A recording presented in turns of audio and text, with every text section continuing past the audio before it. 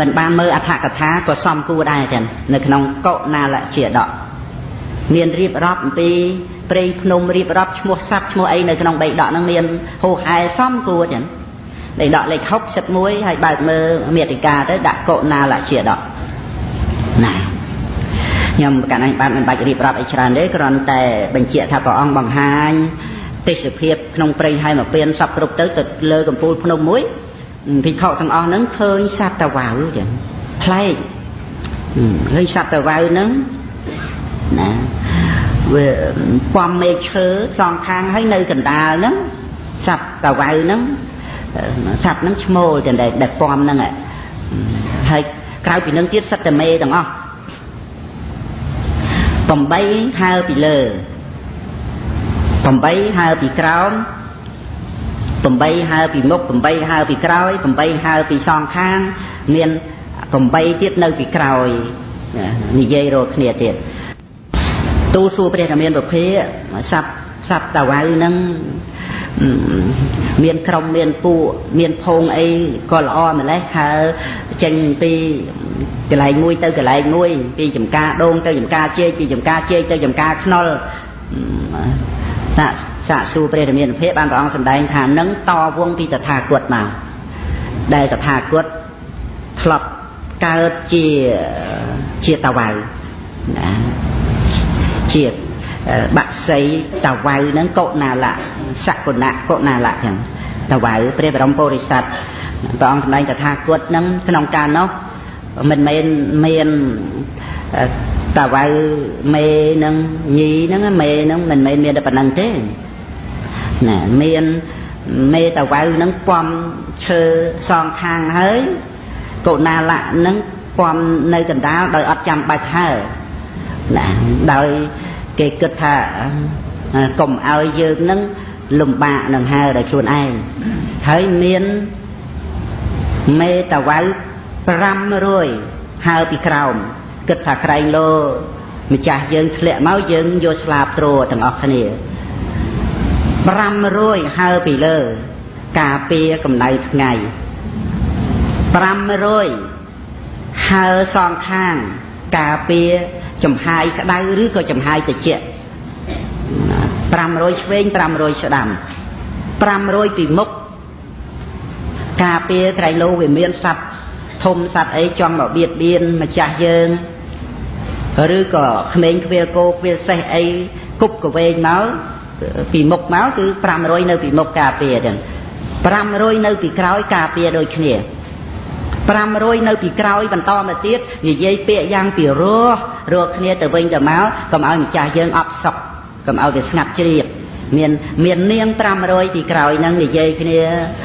សំលេងតវៅពីរោះចឹងណាសំលេងតវៅពីរោះមានរឿងមួយនោះដែលព្រះអង្គសម្ដែងប្ររពនាងសេចតានោះ នាងសេចតាសុនិសារបស់អនាថបិណកសិទ្ធិណាកូនប្រសាស្រីជាភរិយារបស់នាយកាលៈនោះនឹងប្អូនបង្កើតរបស់វិសាខាមហាបាសិកាទៀតនាងសេចតានោះមិនកាចមុនដំបូងនោះឆ្លោះគ្នាជាមួយពួកទេសកម្មករអីសពគ្រប់ទាំងអស់បានព្រះអង្គទៅទូលមានសម្ដែងពីភរិយា7ពួកនោះហើយបានសម្ដែងសតតាបត្តផលនោះពីខទាំងឡាយ ពោលសរសើរព្រះដ៏មានប្រភេទដែលសម្ដែងធួតែម្ដងនាងសុជាតាកាចដល់ម្លឹងហើយបានសោតតាហើយតាំងខ្លួនជាទាស័យសមាភរិយារបស់ប្តីឈប់ការរហូតតទៅ បានព្រះអង្គសម្ដែងថាតថាគតធ្លាប់ណាតថាគតនឹងធ្លាប់បានធ្លាប់បានជួយជួយនាងនឹងពីជាតិមុនដែរនាងជាជាតានឹងកើតជាមេត្តារបស់ព្រះបរមពុរិស័ទព្រះអង្គជាព្រះជាទៀត ណាព្រះអង្គជាព្រះជាក្នុងការនោះមានមេត្តានឹងកាចពាក្យសម្ដីនឹងនិយាយកំហួកកំហែងចរិយានឹងមិនល្អទេប៉ុន្តែព្រះបរមពុរិស័ទមិនតាន់មានឱកាសពេលមួយនាំនេះទៅកាន់សួនឧទ្យាននឹងឆ្លងកាត់វាលស្រែអាសត្វបជានឹងវាផ្អើលនឹងកងតបយំអាជាចចាចម្នាក់ម្នាក់យកដៃបិទតិចឆ្លងអាសត្វបជាហ្នឹងដល់ទៅពេលផុតពីវាលនឹងចូលទៅព្រៃធំធំឬសូវសត្វតវ៉ៅ យំនាំគ្នាសរសើរទៀតអូយបរោះអីបរោះម្លេះទេសត្វតវ៉ៅហ្នឹងបានឱកាសហ្នឹងដែលព្រះបរមពុរិស័ទបានពោលឡើងថាមនុស្សខ្លះនិយាយឡើងគឺថាគេមិនចង់ស្ដាប់យកដៃបិទតិចមនុស្សខ្លះនិយាយទៅពីរោគេចង់ស្ដាប់ពីពោលសរសើរព្រះមេដាព្រះបរមពុរិស័ទនឹកថាកូនហ្នឹងនិយាយហ្នឹងគឺសំដៅមករកខ្លួនហើយប៉ុន្តែវាអត់មានស្អីដើម្បីនឹងបកែកនឹងថាអីក៏ខំ អប់រំទូមានខ្លួនទៅកុំឲ្យនិយាយពាក្យសម្ដីអ្វីអ្វីដែលគេស្អប់នោះនឹងព្រះបរមពុរិស័ទលើកយកពជាដកនឹងមកទៅមេដារបស់ព្រះអង្គក្នុងកាលនោះមកជានាងសុជាតានេះមិនមែនសុជាតាមេដាព្រះយុសទេណាណាសុជាតានេះប្អូនបង្កើតអូនស្រីបង្កើតណាបាសិកាវិសាខាហ្នឹងអានេះគ្រាន់តែចង់រំលឹកបន្តិចអំពីរឿងសម្លេងសត្វតវ៉ៅវាពីរោះអញ្ចឹងបានជានាងនាងនោះគឺថា និយាយរកគ្នាបញ្ចេញសម្លេងច្រៀងទៅសបាយទៅនៅពីក្រោយនឹងដូចដូចភ្លេងចឹងឯង500គឺមានរបៀបរបបគេមិនមែនជជែកចចាយទៅពីទៅផ្ទះទេគេតតគ្នាមកប្រមាណ10 20ចឹងទៅរួចទៅគេតគ្នាតគ្នាដូចលេងភ្លេងចឹងទៀតនាងទាំង500តាមក្រោយហ្នឹងក៏ប៉ុន្តែក្នុងការនោះកុណាលៈ មានពាក្យសម្ដីជាមួយនឹងមេតវៅទាំងអស់នឹងអត់ពីរោះទេសិតតែងែងចេះងែងចុះថោកទៀតស្អីស្អីណា ថាឲ្យនាងនាងទាំងអស់ហ្នឹងចឹងណានឹងមើលនៅក្នុងកុណាលៈជាដកហ្នឹងនិយាយអំពីតាវៅមួយទៀតណាឧទាយីទៀតកាលនោះកើតជាតាវៅឈ្មោះបណ្ណមុខៈហ្នឹងវាមាន មុខសទៀតតាវៅហ្នឹងព្រះឧទាយីមានបរិវារអីចឹងដែរដែលហើមុខហើក្រោយអីហ្នឹង50ជាងហៀងឆ្វេងស្ដាំពីលើពីក្រោមអីចឹងដែរអូផ្អែមណាស់ទេយីហ្នឹងសិតតែអូនល្អណានិយាយជាមួយប្រពន្ធនោះដល់អញ្ចឹងទៅពេលមួយបណ្ណមុខៈហ្នឹងមកជួបនឹងតាវៅ ដែលជាបរិវាររបស់ព្រះបរមពុរិស័ទហ្នឹងបរិវាររបស់ព្រះបរមពុរិស័ទហ្នឹងក៏បានរៀបរាប់សេចក្តីហ្នឹងប្រាប់បណ្ណមុខៈហ្នឹងថាពួកយើងខ្ញុំនេះមិនដែលបានសម្ដីល្អពីប្តីរបស់ខ្ញុំទេដីរបស់ខ្ញុំហ្នឹងទោះជាខ្ញុំបំរើកប់គុណយ៉ាងណាក៏ដោយមិនដែលមិនដែលសម្ដីល្អមករកពួកខ្ញុំទេសម្ដីសិតតែហងឯងសិតតែថោកទាប សិតតែចិត្តស្រាលស្អីស្អីណារៀបរាប់នៅក្នុងនឹងខ្ញុំខ្ញុំនិយាយមិនអស់ទេណាក៏ចង់សម្ដែងយូរហើយក៏ណាលជាដកប៉ុន្តែរឿងនៅក្នុងព្រះជាដកនេះគឺព្រះសម្មាសម្ពុទ្ធព្រះអង្គទ្រង់ជ្រាបអធិស្ឋានរបស់ភិក្ខុទាំង500ដែលដែលនឹកប្រពន្ធនេះណាព្រះអង្គលើកយកបជាដកនឹងមកសម្ដែងនឹងគឺសម្ដែងអំពីទោសរបស់ប្រពន្ធ ណាសម្ដែងច្រើនទៅក្នុងនឹងកណាពុនចាស់និមន្តនិមន្តអានមើលចុះនៅក្នុងសេចក្តីហ្នឹងដើម្បីជួយឲ្យភិក្ខុទាំង500នឹងឯងមានចិត្តធុញទ្រាន់លួយណាយនឹងគរាវៈហើយស្ដាប់អរិយសច្ចធัวចូលទាំងដល់នឿយណាយទៅស្ដាប់ទុក្ខសច្ចសមុទយសច្ចចូលបានសម្រេចមគ្គផលណាទៀតពេលដែលទៅព្រះអង្គនាំទៅមកវិញមកខ្លួនឯងដោយរិទ្ធខ្លួនឯងណា ណាហ្នឹងគឺនៅក្នុងកណ្ដាលជាដកហ្នឹងព្រះអង្គមិនលើកយករឿងស្ត្រីដែលល្អល្អទេខ្វះអីស្ត្រីល្អល្អមកកណោតែព្រះអង្គអត់លើកយកទៅសម្ដែងទេក្នុងកណ្ដាលជាដកហ្នឹងហើយក្នុងកាលដែលព្រះអង្គសម្ដែងនៅប្រវត្តិរបស់ព្រះអង្គកុណាលៈហ្នឹងក្នុងកាលនោះបណ្ណមុខៈហ្នឹងក៏បានក៏បានពោលឡើងថាអូអញ្ចឹងហ៎ នាងនាងទាំងអស់គ្នាហ្នឹងអញ្ចឹងក៏បានចូលទៅជួបនឹងកុណាលៈព្រះបរមពុរិស័ទហ្នឹងក៏បានពោលដាស់តឿនព្រះបរមពុរិស័ទហ្នឹងឲ្យចេះនិយាយល្អនិយាយព្រោះជាមួយប្រពន្ធផងមើលកុំឲ្យពេកសម្ដីអាក្រក់អាក្រីពេកព្រះបរមពុរិស័ទបណ្ដេញបណ្ណមុខៈទៀតណាបណ្ដេញអ្នកឯងមិនមែនជាមិត្តរបស់យើងទេកុំមកនិយាយពាក្យសម្ដីអីអញ្ចឹងនោះណា ហើយបណ្ណមុខៈហ្នឹងក៏ចេញទៅពេលមួយនោះបណ្ណមុខៈហ្នឹងឈឺចិត្តដល់ពេលឈឺទៅប្រពន្ធប្រពន្ធហ្នឹងហើចោលអស់បានព្រះបរមពុរិស័ទកណាលៈហ្នឹងទៅជួយមើលថែរក្សាបណ្ណមុខៈហ្នឹងឯងនាំផ្លែឈើនាំអីអីទៅឲ្យហើយជាបាលដោយឱសថផ្សេងផ្សេងនៅក្នុងព្រៃហើយមកពៀនហ្នឹង បានជាទៅជាទៅបានសម្ដែងការពិតប្រាប់ថាយើងដែលមិននិយាយបរោះជាមួយពួកនាងនាងអស់ហ្នឹងមកអំពីយើងបានដឹករឿងច្រើនណាស់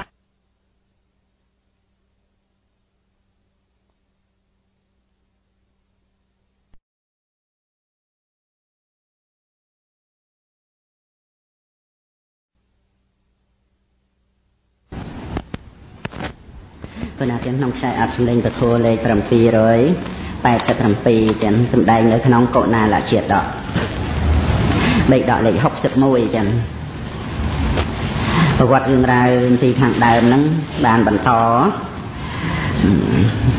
ណាបន្តមកពីខ្សែអត់មុនហ្នឹងឥឡូវនៅក្នុងសេចក្តីដែលសកុណៈកុណាលៈតវៅព្រះបរមពុរិស័ទ បានរៀបរាប់ពីហេតុដែលមិនឲ្យអាត្មាអាត្មាអញនឹងនិយាយពីរសផ្អែមល្ហែមជាមួយនឹងនាងនាងទាំងអស់នឹងយ៉ាងណាយ៉ាងណាបើសម្លាញ់ចង់ដឹងរឿងហ្នឹងមកតាមយើងមកនាំបណ្ណមុខៈនឹងហៅទៅកម្មទីកន្លែងមួយចឹងក្នុងការនោះពូរុក្ខទេវតាដឹងដឹងរឿង កុណាលៈតវៅព្រះបរមពុរិស័ទនឹងប្រកាសឡើងនៅនៅសេចក្តីពិតយ៉ាងណាជាអតីតជាតិដែលបានចាំមកយ៉ាងម៉េចពោលទោសរបស់ភរិយានឹងយ៉ាងម៉េចជាមេត្តាក្រៀមនោះពួករុក្ខទេវតាប្រកាសប្រកាសប្រកាសឲ្យមកស្ដាប់ព្រះបរមពុរិស័ទចឹង ទេវតាតាំងពីអាកាសទេវតារហូតចាតមហារាជការទេវតាមកគ្រប់ជាន់ទាំងអស់មកស្ដាប់ព្រះបរមពុរិស័ទហើយក្នុងការនោះព្រះអនន្តកើតជាថ្មាតជាស្ដេចថ្មាតទៀតលឺសូកក្រឹកកក្រែងមកស្ដាប់ដែរហើយព្រះសិរីបុត្រជាតាបោះបានសម្រេចអភិញ្ញា5ក៏មកស្ដាប់ព្រះបរមពុរិស័ទដែរនៅក្នុងកុណាលជាដកហ្នឹងតែ ព្រះសម្មាសម្ពុទ្ធព្រះអង្គដល់ពេលវេលាព្រះអង្គប្រកាសសម្ដែងអំពីទោសច្រើនប្រការរបស់ឆត្រីរបស់ភរិយាមាតុក្រៀមហើយសំដែងឲ្យពិខុ500នឹងឯងស្ដាប់ដើម្បីឲ្យមានចិត្តនឿយណាយពីការគ្រប់គ្រងផ្ទះព្រះអង្គលើកយករឿងដែលមិនល្អរបស់ស្ត្រីរឿងល្អ ព្រះអង្គអត់លើកយកមកទេព្រោះឱកាសពេលវេលាគ្រាហ្នឹងអធិស្រ័យឧបនិស្ស័យរបស់ពិខុទាំង500ហ្នឹងគឺត្រូវស្រោចស្រង់ដោយកុណាលជាដកហ្នឹងហើយកុណាលៈព្រះបរមពុរិស័ទនឹងនឹករលឹកឃើញអតីតជាតិច្រើនរឿងណាស់ទៀតបានសម្ដែងថាក្នុងកាលនោះពរាជធីតានឹងមាន មានឪពុក2មានប្តី5នាក់ហើយនៅមិនមិនស្កប់ចិត្តត្រូវលួបលាក់ស្រឡាញ់ជាមួយនឹងបរោះគោមម្នាក់ទៀតណាកាលដែលប្របាទព្រមតតទៅវាយដណ្ដើមយកដែនកោសលចឹងណាបាទព្រមតតគ្រប់គ្រងនៅដែនកាសីណាណាទៅវាយយក នគរកោសលនឹងសម្រាប់ព្រះជាក្នុងនគរកោសលរួចទៅចាប់យកភរិយារបស់ប្របាទកោសលហ្នឹងមកតែងតាំងជាអក្កមៃសីនៅឯនគរពេរិណសីទាំងដែលមហេសីរបស់ប្របាទកោសលនឹងមានគួរស្រាប់ហើយណាដល់ពេលប្រសូតមកជាធីតាហើយព្រះរាជា ប្របាទនៅដែនកាសីហ្នឹងបាទព្រមតតហ្នឹងអត់មានបុតអត់មានធីតាដល់អញ្ចឹងទៅស្រឡាញ់ស្រឡាញ់បុតរាប់ប្រទានពូឲ្យណាកូនហ្នឹងកើតមកឈ្មោះនាងកណ្ហាទេវីដែរដល់អញ្ចឹងថាចាំដល់ឱកាសពេលវេលាដល់អញ្ចឹងម្ដាយប្រាប់ឲ្យកូនហ្នឹងទៅទទួលពរពីបិតាដោយខ្លួនឯងដល់ពេលពេញកំមុំទៅនោះនាងនឹងថាអត់សុំ គ្រឿងអលង្ការអត់សុំរាជសម្បត្តិអត់សុំអីទាំងអស់គឺខ្ញុំម្ចាស់សុំសុំរើសប្តីខ្លួនឯងណាបិតាថាល្អហើយជីតាណាចាត់ចែងហៅប្រុសប្រុសទាំងអស់ណាមកទៅរៀបជួលគ្នាឲ្យនាងកណ្ហាហ្នឹងរើសមើលតាមបង្អួចមកអត់មានពេញចិត្តណាណាទេទេ ប្រុសប្រុសទាំងអស់ហ្នឹងនៅឯបណ្ឌុកនគរហ្នឹងរាជបុត្រ5អង្គទៅរៀននៅឯនគរតកសិលាក្នុងនោះមានព្រះបរមពុរិស័ទមួយទៀតកុដណាលៈហ្នឹងកើតជាបុត្រច្បងឈ្មោះអច្ចុណៈហើយបន្តមកទៀតមានអ្នកកុលៈទី2ទី3ភេមសេនទី4យុធៈសត្យលៈទី5 មហាទេពណាឮគេអ៊ូអហ្នឹងមកមើលគេមកប៉ិនតែឲ្យនាងកណ្ហាស្រឡាញ់នឹងបដ ாய் មិនស្រឡាញ់តែមួយស្រឡាញ់ទាំង5ចឹងណា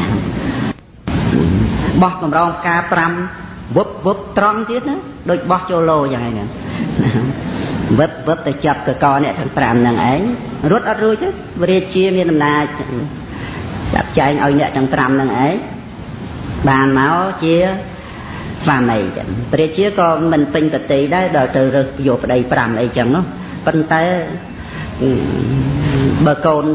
ត្រូវការអញ្ចឹងហើយធីតាត្រូវការអញ្ចឹងហើយក៏រៀបចំឲ្យបានទាំង5នាក់ទៅហើយអ្នកទាំង5ហ្នឹងវិលត្រឡប់ពីរៀនសិលសាស្ត្រមកវិញហើយណាមិនមែនទៅទៅទេណាវិលត្រឡប់មកវិញហើយក៏នៅ នឹងនគរនឹងទៅហើយក៏ធ្វើដំណើរទៅកម្មនគររបស់ខ្លួនអីក៏បានទៅមានប្រពន្ធមួយទាំង5អង្គហ្នឹងទៅក្នុងកាលនោះនាងកណ្ហានឹងមានអ្នកបំរើម្នាក់មិនឲ្យមិនឲ្យជាមនុស្សល្អទេអ្នកបំរើនឹងធ្វើកិច្ចការងារប្រុសប្រុសណារើសឲ្យខ្នងគួមទៀតមើលទៅដូចកបត់កអញ្ចឹងគួមរហូតដល់ក្បាលនឹងមកនៅពោះខ្នងគួមនឹង អោនកាច់កាច់ឆ្អឹងខ្នងកងងមកហ្មងហើយអាកកនឹងរៀងវែងបន្តិចដល់អញ្ចឹងទៅអាមុខហ្នឹងមកនៅនឹងពោះឯណាណាមើលទៅដូចមនុស្សក្បត់ក្បាលយ៉ាងហ្នឹងយោនេះយោនោះអីចឹងទៅទៅខ្វាក់ទៅថ្វាយនាងកម្មមហានឹងចុះឡើងចុះឡើងប្តីអត់នៅស្រឡាញ់បរោះគោមនឹងឯងទៀត ណាពេលនឹកនឹកឃើញនឹកឃើញបរោះគោមនឹងទៅវាចង់ចង់ស្រឡាញ់ណាយោបរោះគោមនឹងមួយទៀតទៅលោបលាក់មិនឲ្យប្តីទាំង5នឹងដឹងហើយនៅពេលដែលសាសងគ្នាពោលពាក្យថាណាពោលពាក្យថាខ្ញុំខ្ញុំស្រឡាញ់បងនឹងជាងគេណាហើយក្នុងចិត្តនឹង ចង់តែសម្លាប់ប្តីទាំង5យកឈាមមកលាងជើងបងឯងអូយចឹងទៀតហើយដល់ទៅនិយាយជាមួយគ្នានឹងប្តីទាំង5នឹងម្ដងម្នាក់ម្ដងម្នាក់និយាយខុសខុសគ្នាទៀតណានិយាយភាសាអូនបងហ្នឹងបើខ្ញុំខ្ញុំនឹងលះបង់ជីវិតចំពោះបងហើយបងជាម្ចាស់ហើយស្រឡាញ់បងនឹងជាងគេនឹងនិយាយជាមួយអជុនៈហ្នឹងអត់ពីប្របីដាទៅខ្ញុំនឹង យករាជសម្បត្តិនឹងជូនបងថ្វាយបងហើយទៅនិយាយជាមួយអ្នកទាំង4ទៀតដូចគ្នាអញ្ចឹងហ៎បើកែសម្ដីហ្មងទៅណាក្រោយមកឈឺដល់ពេលឈឺប្តីទាំង5ហ្នឹងទៅអង្គុយអជុអ្នកហ្នឹងអង្គុយពីលើច្បាច់ក្បាលទៅឈឺក្បាលហើយ4អ្នកទៀតដៃ2ជើង2ហ្នឹងយកមកដាក់លើភ្លៅច្បាច់ឲ្យ នឹង5អ្នកហ្នឹងនាងនឹងធ្វើសញ្ញាអាកំបាំងដែលធ្លាប់និយាយជាមួយនឹងព្រះអង្គចាំ5នឹងហើយពីរឿងអាកំបាំងដែលថាអត់ពីបីតាទៅទទួលរាជសម្បត្តិឲ្យហ្នឹងណាមានមានសញ្ញាអាកំបាំងហ្នឹងឲ្យឲ្យស្វាមីហ្នឹងដឹងទៀតទៀតនៅកោយក្បាលពីលើផ្លូវអជុនៈហ្នឹង ណែញាក់ក្បាលញាក់ក្បាលឲ្យអជុនៈហ្នឹងដឹងដឹងថាអត់ពីបីដាទៅឲ្យបងសោយរេហើយជាមួយអ្នកទាំង4ទៀតញាក់ដៃញាក់ជើងសញ្ញាអាកំបាំងហ្នឹងគឺគ្រាន់តែញាក់ដឹងហ្មងចឹងព្រោះធ្លាប់ញាក់អញ្ចឹងប្រាប់ហើយនោះតែញាក់រួចទៅនិយាយដល់លើកនេះអត់និយាយទេប៉ុន្តែគ្រាន់តែញាក់គេដឹងណាហើយបរោះគោមហ្នឹងនៅក្នុងឋានៈជាអ្នកបំរើហ្នឹងនាងឯនេះកន្លោះអណ្ដាត បញ្ចេញដាតមកបន្តិចហើយកាហែមកខឹសអ្នកឯនោះដឹងបាត់ហើយព្រោះស្លាប់ធ្វើអញ្ចឹងហ៎ជាសញ្ញាអាកំបាំងមួយ ប្រាប់ថាចង់តែសម្លាប់ប្តីទាំង5ហ្នឹងយកឈាមទៅលាបជើងបងហ្នឹងគឺគ្រាន់តែធ្វើមកខឹសប៉ុណ្ណឹងអ្នកឯនោះដឹងបាត់ហើយព្រះបរមពុរិស័ទដឹងព្រះបរមពុរិស័ទ ដឹងរឿងហ្នឹងទៅឃើញសញ្ញាហ្នឹងរួចទៅដល់ពេលវេលាចេញមកហៅប្អូនទាំង4ហ្នឹងមកសួរប្អូនទាំង4ហ្នឹងអត់ដឹងរឿងអីទេគឺដឹងតែរឿងខ្លួនឯងដែលនាងហ្នឹងធ្វើសញ្ញាប្រាប់ទេចឹងក្រៅពីហ្នឹងទៀតអត់ដឹងទេព្រះបរមពុរិស័ទប្រាប់ប្រាប់ទៅនិយាយទៅដឹងរឿងចឹងនាងនឹងនិយាយជាមួយខ្លួនតែមិននិយាយជាមួយអ្នកតីមិនមិនពាក្យដូចគ្នាក៏មានចិត្តធុញទ្រាន់លឿនណាយហើយក៏រត់ចោលនាងកណ្ដាហានឹងឯង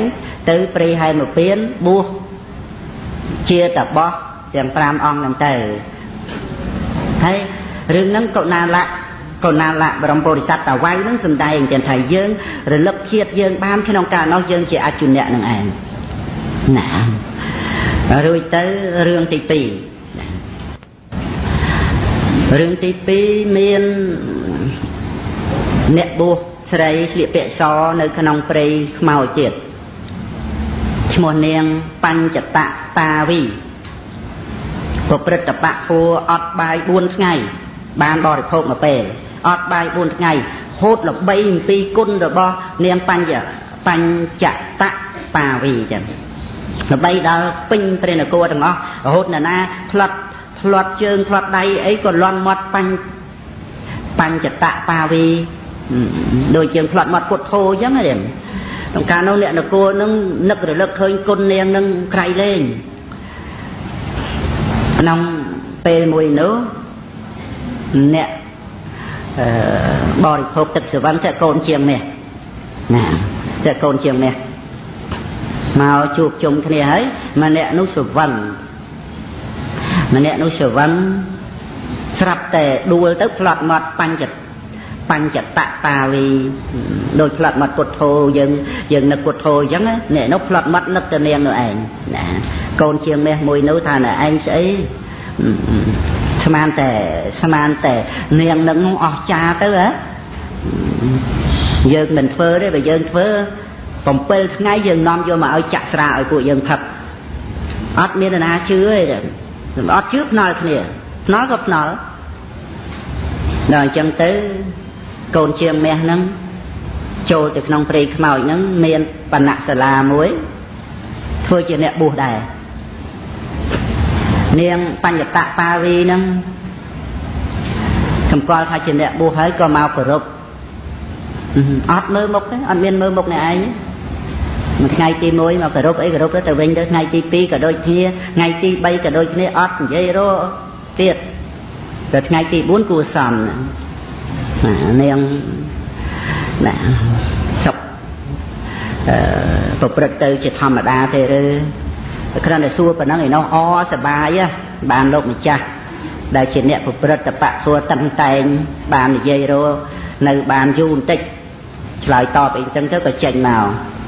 ថ្ងៃទី5គួសំច្រើនជាងមុនថ្ងៃទី6សាកសួរច្រើនទៅថ្ងៃទី6ហ្នឹង ថានាងប្រព្រឹត្តបៈធัวយ៉ាងម៉េចខ្ញុំម្ចាស់ហំអត់បាយ4ថ្ងៃបានបរិភោគមួយពេលចេះលោកម្ចាស់វិញតែយើងអត់បាយម្ដង7ថ្ងៃហ៎បានបរិភោគមួយពេលអត់តែថ្ងៃទេយប់ដាក់ឲ្យពេញពេញពោះទាំងអត់តែថ្ងៃទេណាបោកនាងហ្នឹងណាបោកនាងបញ្ញតបាវីហ្នឹង រួចទៅនាងមកបួសប្រព្រឹត្តបៈធัวហ្នឹងប្រហែលឆ្នាំហើយថាខ្ញុំ12ឆ្នាំហើយហើយចុះលោកម្ចាស់វិញយើងទៅបាន6ឆ្នាំទេហើយហើយចុះនាងបានសម្រេចនៅនេខមៈគុណអីយ៉ាងណាហើយអត់ទេលោកម្ចាស់អើយខ្ញុំអត់មានបានសម្រេចនៅគុណធម៌អីទេយើងឯនេះវិញក៏អញ្ចឹងដែរការដែលនៅគ្រប់គ្រងផ្ទះហ្នឹងក៏មិនបានអីហើយមកប្រព្រឹត្តនេះនៃកម្មគុណក៏អត់បាន មើលទៅនរកហ្នឹងវាមិនមែនសម្រាប់តែយើងពីរនាក់ទេណោះណាមនុស្សមកសន្ធឹកទៀតហ្នឹងកុំឲ្យនៅត្រាំត្រែងអញ្ចឹងបើវាមិនបានអីអញ្ចឹងនោះនាងនោះថាខ្ញុំនោះគិតចឹងយូរហើយប៉ុន្តែមិនដឹងទៅពឹងដល់ណាបើលោកម្ចាស់មិនចោលខ្ញុំទេខ្ញុំក៏សុខចិត្តទៅនៅជាមួយណាប៉ុណ្ណឹងព្រមព្រៀងគ្នានាំមកផ្ទះណាយប់ហ្នឹងនៅជាមួយគ្នា ស្រឡាញ់គ្នាទៅស្អែកឡើងតុបតែងដូរខោអាវអីអស់នាំទៅជួបជុំមិត្តភ័ក្តិឈ្នះរង្វាន់1000កហបណៈទៀតនាំប្រពន្ធទៅចាក់ស្រាឲ្យមិត្តភ័ក្តិហ្នឹងហ្នឹង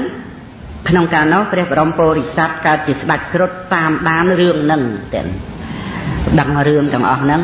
ហើយបានមកជាកុណាលៈហ្នឹងបានរៀបរាប់ទៅហ្នឹងហើយដល់ទៅរឿងទី3 កុណាលៈព្រះបរមពុរិស័ទហ្នឹងសម្ដែងឲ្យបណ្ណមុខៈហ្នឹងស្ដាប់ហើយព្រះសម្មាសម្ពុទ្ធជាអ្នកសម្ដែងនៅវិជាដកហ្នឹងណាព្រះសម្មាសម្ពុទ្ធសម្ដែងទៅប៉ុន្តែរឿងរ៉ាវពីអតីតហ្នឹងកុណាលៈហ្នឹងលើកយកមកហើយបានប្រពុតព្រះអង្គសម្ដែងតមកទៀតហ្នឹងទី3ហ្នឹងស្ដេចនគរស្ដេចនគរពេរិណសី ទៅវាយដែនកោសលដូចរឿងទី1ដែរចឹងប៉ុន្តែមិនមែនសម័យកាលជាមួយគ្នាទេបរិជាផ្សេងគ្នាសម្រាប់បរិជាដែនកោសលបាននាំយកភរិយានឹងមកមានមានមានគោឲ្យស្រេចចឹងប៉ុន្តែលើកក្រោយនេះកើតជាកូនប្រុសលើកមុនកើតនាងកណ្ហាកូនស្រីចឹងដែលថាឪពុក2ប្តី5ណា ឪពុកពីរឪពុកបង្កើតមួយព្រះរាជាដែនកោសលហើយមួយទៀតប្របាទដែនកាសីនេះដែលថាឪពុកពីរនោះហើយប្តី5នោះដល់លើកនេះមកដល់ពេលមកកើតជាកូនប្រុសរឿងមួយផ្សេងទៀតកើតជាកូនប្រុសណាម្ដាយគិតថាកូនយើងប្រុសអញ្ចឹងព្រះរាជានឹងគិតថាជាកូនរបស់សត្រូវហើយនឹងសម្លាប់កូនយើងជាពិតប្រាកដ យើងមិនឲ្យកូនយើងត្រូវបរិជាសម្លាប់ទេក៏នាំយកកូននឹងទៅដាក់នៅក្នុងព្រៃស្ម័គ្រសានទៀតផ្សងព្រេងតែមុខមុខតែបរិជាសម្លាប់ហើយព្រោះជាកូនរបស់សត្រូវនឹងព្រះអង្គស្ដាប់អានហើយកូនសត្រូវនេះព្រោះពុកកូននឹងគឺជាប្របាទកោសលដែលបរិជានៅដែនកាសីនឹងទៅសម្លាប់ដណ្ដើមយកនគរនោះប៉ុន្តែមិនសម្លាប់ភរិយាទេនាំយកភរិយារបស់ប្របាទ កោសលនឹងមកធ្វើជាភរិយាហើយកើតកូនមកនឹងកូនប្រុសហ្នឹងអញ្ចឹងម្ដាយនឹងភ័យនឹកក្រែងលោព្រះរាជាដែនកាសីនឹងសម្លាប់កូនហ្នឹងព្រោះជាបីបីដាហ្នឹងបីដាហ្នឹងព្រះរាជាអ្នកសម្លាប់ហើយមិនមិនចង់ទុកកូនទៀតម្ដាយនឹងគិតតែខ្លួនឯងទេមិនចង់ទុកកូនទៀតតែលោកកូននឹងសងសឹក ណាសងគំនុំដែលបរិជាសម្រាប់បេដាហ្នឹងម្ដាយហ្នឹងគិតតែខ្លួនឯងទេបានយកកូនហ្នឹងទៅដាក់នៅព្រៃស្ម័គ្រសានហើយឪពុករបស់កូនហ្នឹងបរិជាដែនបរិជាដែនកោសលដែលចៅជីបង្គត់ទៅចាញ់សង្គ្រាមណាកើតជារុក្ខទេវតាចឹងបានបណ្ដាលឲ្យអ្នកខ្វៀលពពេនឹងគៀងពពេមកកន្លែងហ្នឹងឯងមេពពេមួយហ្នឹងដាក់ដោះឲ្យកូននឹងបៅចឹង ណាដល់ដល់អ្នកខ្វៀលប្រពេនឹងបានជួបហេតុការណ៍ហ្នឹងក៏ស្រឡាញ់យកទៅចិញ្ចឹមយកទៅឲ្យប្រពន្ធនឹងចិញ្ចឹមទៅប្រពន្ធនឹងអត់មានកូនវាអត់មានទឹកដោះដល់អត់មានទឹកដោះឲ្យកូននឹងបៅដោះមេប្រពេនឹងទៅបៅបានប្រមាណខែប្រពេនឹងងាប់ ឲ្យបៅដោះមេប្រពេមួយទៀតមេពេនោះងាប់ទៀតដល់អញ្ចឹងបរោះជាប្តីមុនដំបូងស្រឡាញ់ទៅក្រោយមកមិនដឹងជាមនុស្សចង្រៃអីយ៉ាងម៉េចទេចិត្តតែឲ្យងាប់មេប្រពេអញ្ចឹងណាក៏យកទៅដាក់នៅក្នុងឆ្នាំងមួយធំបិទគ្របហើយបដែតទឹកអ្នកតកូលចន្ទដៀលណា ចុះទៅកំពង់ទឹកឃើញរើសយកមកស្រឡាញ់ទៅចិញ្ចឹមបានធំទៅរហូតអាយុ7ឆ្នាំណារហូតអាយុ6កណ្ដប់ហើយអ្នកតកោចន្ទដៀលនឹងតែងតែចូលទៅព្រះរាជវាំងធ្វើជាងជួសជុលអ្វីៗផ្សេងផ្សេងដល់តែពេលកូននឹងធំពេលមួយនឹងយកកូនទៅដែរជួយធ្វើកិច្ចការងារក្នុងព្រះរាជវាំងណា ព្រះរាជវាំងហ្នឹងគឺនៅក្នុងនគរពារាណសីហ្នឹងណាហើយមហេសីហ្នឹងបន្ទាប់ពីយកកូនទៅចោលក្នុងព្រៃស្ម័គ្រសាមនឹងចោលនឹងដោយបំណងល្អក្នុងចិត្តទេគិតខ្លួនឯងកុំឲ្យពរាជាសម្លាប់នឹងសងតាមវាសនាទៅនោះក្រោយមកមានកូនស្រីណាមានកូនស្រីជាសម្លាប់នឹងសងតាមវាសនាទៅនោះក្រោយមកមានកូនស្រី ណាមានកូនស្រីឈ្មោះកុរំគៈទេវីករង្គៈទេវីនឹងឯងធ្វើដំណើរចុះឡើងចុះឡើងទៅជួបនឹងនឹងបងនឹងឯងចឹងមើលបើអត់ស្គាល់គ្នាថាបងទេម៉ែជាមួយគ្នាឪពុកផ្សេងគ្នាណាហើយក៏ចាប់ចិត្តវឹបហ្មងស្រឡាញ់ចឹងដែរស្រឡាញ់រហូតទៅមកចុះឡើងទៅមកចុះឡើងក៏ លួបលាក់ស្រឡាញ់គ្នាទៅរហូតដល់ទៅពួកអ្នកនគររាជបរោះនឹងដឹងផ្អើលគិលឡើងក្រាបទូលដល់ព្រះរាជាព្រះរាជាឲ្យចាប់បរោះនឹងមកដើម្បីនឹងកាត់ទោសហើយរាជបរោះវិនិច្ឆ័យក្តីទៅថាមានទោសធ្ងន់ណាស់មិនមែនឲ្យស្លាប់ស្រួលស្រួលទេមុននឹងស្លាប់ធ្វើទរណកម្មឲ្យក្រៃលែងសិនបាន រុក្ខទេវតាជាបីតានេះមកចូលជាមួយគ្នានឹងភរិយានេះទាំងចូលជាមួយគ្នានឹងមហេសីពាយានេះណាដែលកាលដែលនៅដែនកោសលនឹងមិនជាភាយាស្វាមីច្រាប់តន់ញញុំដាក់តន់ណាណាចូលមកជាមួយនឹងមហេសីព្រះរាជានឹងឲ្យមហេសីនឹងមកក្រាបទូលព្រះរាជារៀបរាប់រឿងទាំងអស់ទៀតរៀបរាប់រឿងថា កូនប្រុសនេះមិនមែនកូននរណាទេគឺជាកូនរបស់ខ្ញុំម្ចាស់នឹងឯងតាមពិតពីមុនខ្ញុំម្ចាស់នឹងបានពោលមុខសារចំពោះព្រះអង្គថាបុត្រខ្ញុំម្ចាស់នឹងស្លាប់តាមពិតខ្ញុំម្ចាស់នឹកក្រៃលោព្រះអង្គនឹងសម្លាប់កូនខ្ញុំម្ចាស់ដោយចាត់ទុកថាជាកូនសត្រូវខ្ញុំម្ចាស់ភ័យយកកូននឹងទៅចោលក្នុងព្រៃស្ម័គ្រសាន ខ្ញុំសូមអភ័យទោសដែលខ្ញុំបានកុហកព្រះអង្គហើយរឿងរ៉ាវតទៅទៀតហ្នឹងគឺអ្នកខ្វៀលប្រពេហ្នឹងរើសយកទៅចិញ្ចឹមហើយឲ្យបៅដោះមេប្រពេរៀបរាប់ទៅហ្មងមេពេចិត្តងាប់ងាប់ទៅបានបណ្ដែត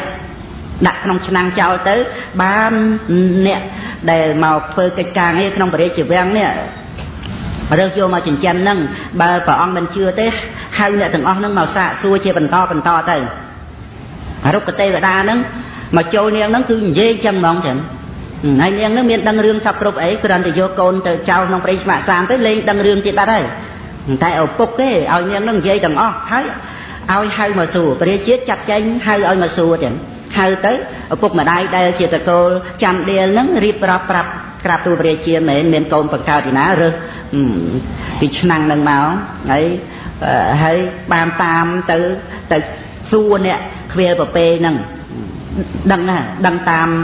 មហេសីនឹងប្រាប់តអ្នកខ្វៀលប្រពេនឹងបណ្ដែតមានប្របាក់សើបសើប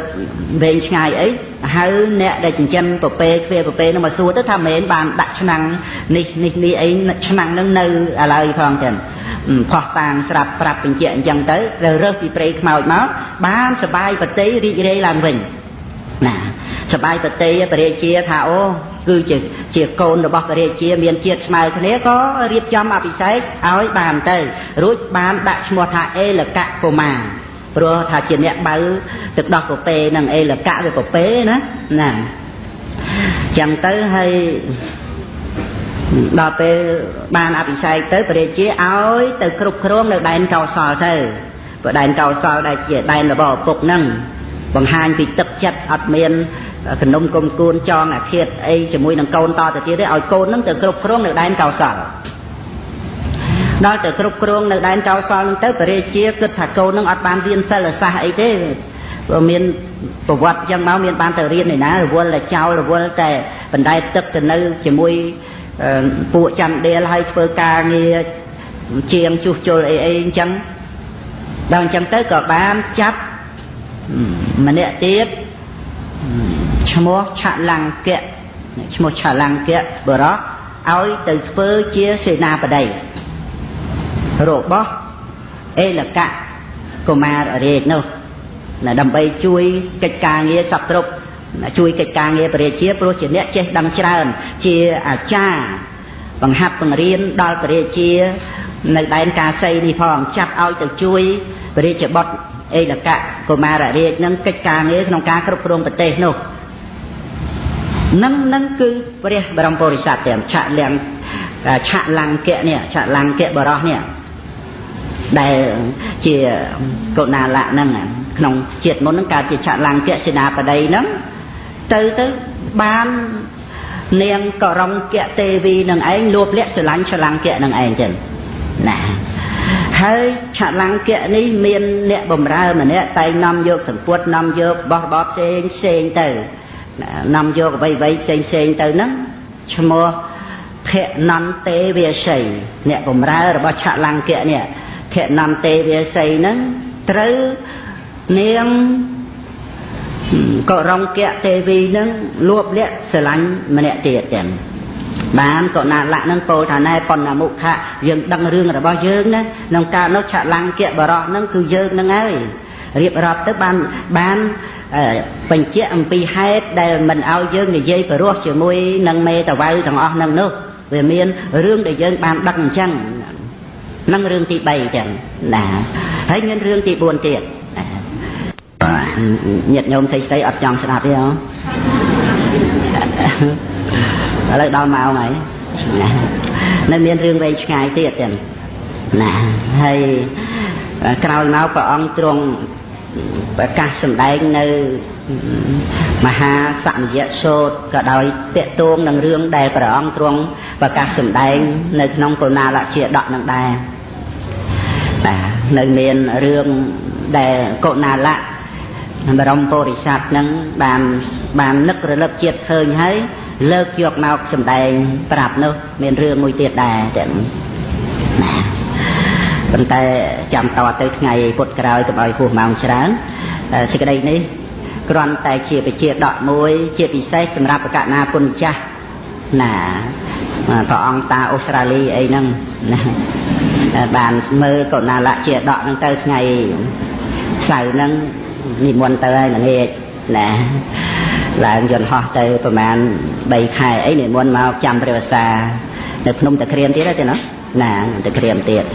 នឹងរឿងរ៉ាវហ្នឹងព្រះអង្គទ្រង់ជ្រាបឧបនិស្ស័យអធិស្រ័យរបស់ភិក្ខុទាំង500នោះបើមិនសម្ដែងកុណាលៈជាដកហ្នឹងមិនមិនឈប់នឹកប្រពន្ធនឹងដោយបតីករណាទៀតញាតិញោមស្អីប្រុសទាំងអស់បានស្ដាប់ហើយក៏បីយល់ជ្រាបណាអេចំណែករឿងរ៉ាវអីផ្សេងផ្សេងទៀតជាគុណសម្បត្តិរបស់ស្ត្រីមានរាប់មិនអស់សន្ធឹកសន្ធាប់ ណាដូចជាអ្នកកលៈមេត្តាអ្នកកលៈបៃតាដែលជាព្រះសោតាបានហើយឧបាសិកាវិសាខាឯកតកៈឧបាសិកាផ្សេងផ្សេងរហូតដល់ទៅភិក្ខុនីជាឯកតកៈរាប់រយអង្គដែលជាព្រះអរហន្តីដែលជាព្រះអរិយសាវិកាដែលជាអ្នកទំនុកបំរុងពុទ្ធសាសនាមានច្រើនសបើមទាំង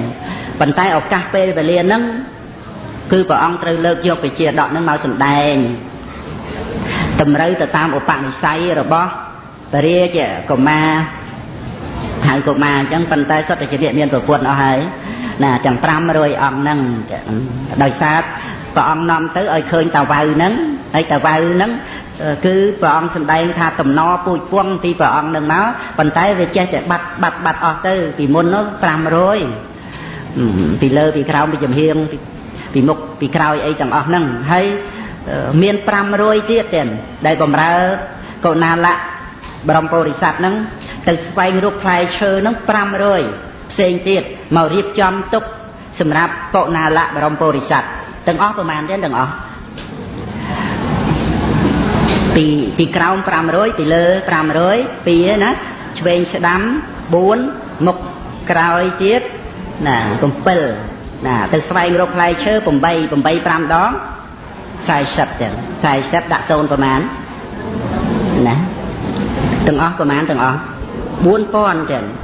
ហើយនៅមាននាងមេ2នោះ4002ទៀតដែលជាអ្នកពំឈើនោះហ្នឹងហើយព្រះបរមពុរិស័ទអត់ដែលបាននិយាយពីរស់ជាមួយទេហ្នឹងប្រវត្តិរឿងរ៉ាវនៅវែងឆ្ងាយហើយមានពាក្យរបស់ ព្រះអនន្តដែលកើតជាស្ដេចខ្មាតមានពាក្យរបស់ព្រះសិរីបុត្រដែលជាព្រះតបោះ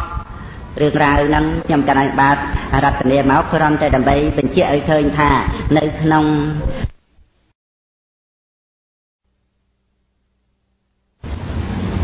ក្នុងថ្ងៃមុនសម្ដែងរឿងរ៉ាវហ្នឹងបានប្រហែលរឿងហើយ3រឿងហ៎អត់ចំចាំទេរឿងលោកគ្រូអីចឹងហ៎ ឥឡូវខែមករឿងទៀតដែលកុណាលៈតាវៅព្រះបរមពុរិស័ទនឹងបានសម្ដែងនៅក្នុងក្នុងកាលនោះព្រះជាដែនកោសលនឹងទៅច្បាំងដណ្ដើមដែនកាសីហើយសម្លាប់ព្រះជាទៀតសម្លាប់ព្រះជាដែនកាសីហើយដណ្ដើមយកភរិយារបស់ព្រះជាដែនកាសីនឹងមក ទាំងដែល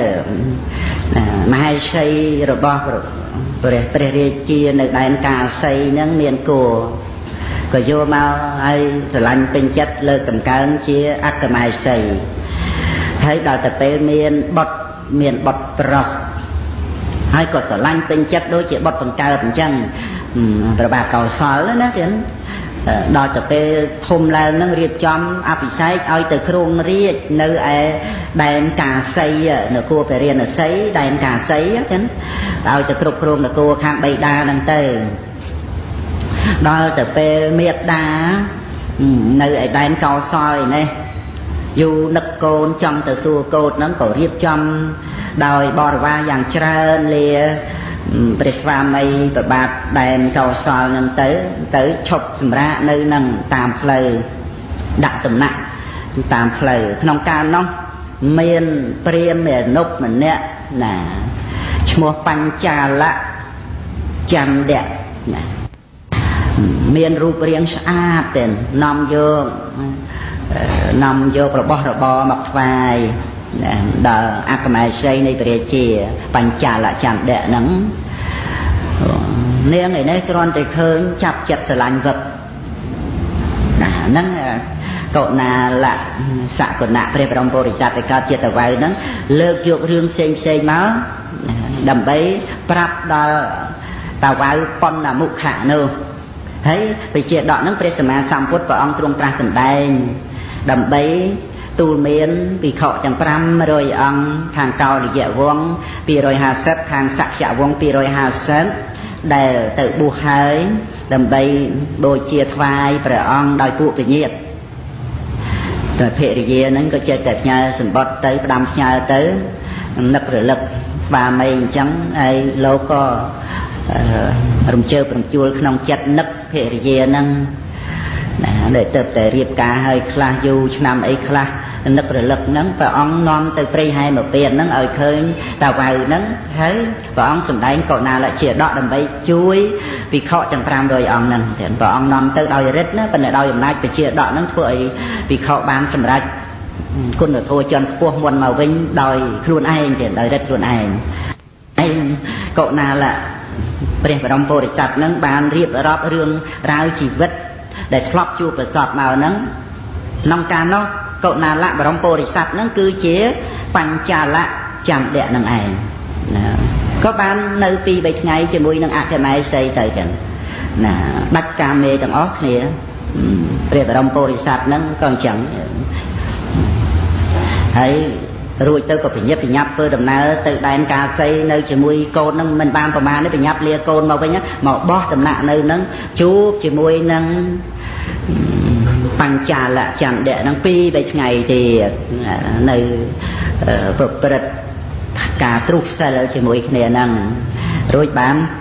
ធ្វើដំណើរមកហើយចាប់តាំងពីនឹងមកនៅមិនយូរទេណាបន្តិចលាព្រះស្វាមីមកសួរសុខទុក្ខកូនណា នៅនឹងពីរបីថ្ងៃទៅហើយលាកូនមកវិញប្រញាប់ប្រញាប់មកវិញនៅពីរបីថ្ងៃទៅហ្នឹងក្នុងកាលនោះមនាលបណ្ណមុខៈបញ្ចាលចន្ទៈហ្នឹងមិនគឺនរណាទេគឺយើងហ្នឹងហើយយើងដឹងរឿងរ៉ាវហ្នឹងច្បាស់ណាស់ហើយព្រះបរមពុរិស័ទកុណាលៈសក្គុណៈហ្នឹងក៏បានពោលតទៅទៀតទៀតហើ យយើងហ្នឹងគឺជាបរោហិតរបស់ព្រះរាជា នៅក្នុងនគរមួយនោះព្រះរាជាទ្រង់ព្រះនាមកិនរៈមានមហេសីឈ្មោះកិនរីចឹងណាព្រះរាជាទ្រង់ព្រះនាមកិនរៈហ្នឹងគ្រប់គ្រងនៅក្នុងនគរហ្នឹងមានមានយើងដែលជាបញ្ចាលចន្ទៈហ្នឹងដែលជាបរោហិតក្នុងកាលនោះ មានមហេសីឈ្មោះកិនរី នៅនឹងវិមានប្រាសាទហ្នឹងក្នុងព្រះបរមរាជវាំងហើយនៅពីខាងក្រោមវិមានហ្នឹងមានដើមព្រីងមួយធំហើយមេឃហ្នឹងវាសំយ៉ងពីលើកំពេកំពែងកំផែងព្រះរាជវាំងហ្នឹងវាសំយ៉ងចុះទៅមកខាងទៀត ហើយនៅពីខាងក្រៅកំផែងព្រះរាជវាំងហ្នឹងកំពែងនៅពីខាងក្រៅហ្នឹងនៅក្របហ្នឹងមានមនុស្សគោមខ្នងកោងម្នាក់រូបរាងអាក្រក់ដូចមនុស្សប្រែតចឹងទៀតពេលមួយនាងកិនរីទេវីបានឃើញបានឃើញមនុស្សខ្នងគោមមនុស្សហៅមនុស្សប្រែតហ្នឹងចឹង ក៏ប៉ុន្តែកើតសេចក្តីស្រឡាញ់មនុស្សនឹងឡើងចឹងណាដល់ដល់ទៅកើតសេចក្តីស្រឡាញ់អញ្ចឹងចិត្តស្រឡាញ់វាកើតឡើងរៀបចំអាហារល្អល្អខ្ចប់ដាក់បង្វិចដាក់នៅក្នុងភេជ្ជៈមាសទៀតខ្ចប់ទុកយប់ឡើងលួងលោមព្រះរាជាដោយសេចក្តីស្នេហានឹង ឲ្យព្រះរាជានឹងផ្ទុំលួងលក់កដាលអាត្រៀតទៅណាដាក់ខ្សែចុះតាមមិនអួយណារួចទៅសវ៉ាឡើងដើមព្រីងនឹងឯងចឹងចងខ្សែពីមេឃព្រីងសម្រូតចុះទៅទៀតជាយានតែប៉ុណ្ណឹងណាយកអាហារបរិភោគដ៏ល្អល្អទៅឲ្យបរោះនឹងឯងហើយក៏ទ្រុះសិលជាមួយនឹងបរោះនឹងសេច ក្តីសេចក្តីត្រេកត្រអាលនឹងវាកើតឡើងអត់មានរើសមនុស្សនាងកិនរីនឹងរឿយរឿយតែចឹងឯងទៅរឿយរឿយរហូតដល់ព្រះរាជាបតិសិនព្រះនគរហើយស្រាប់តែមកឃើញបរោះនឹងសួរបរោហិតយេណោ មានមានចិត្តមេត្តាករុណាបរោះនឹងហ្មងចឹងព្រះរាជាណាហើយសួរបរោហិតថារូបរាងអញ្ចឹង